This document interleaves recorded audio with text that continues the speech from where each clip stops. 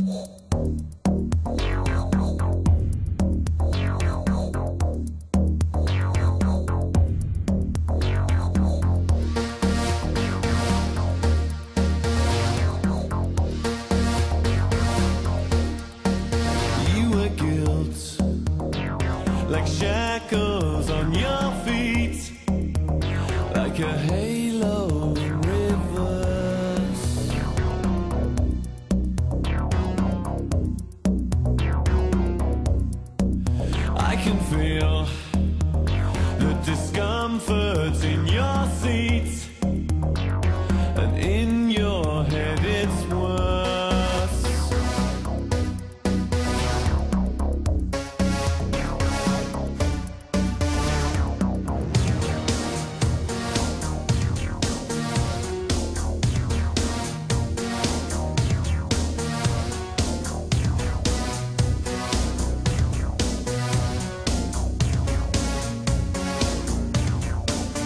there's a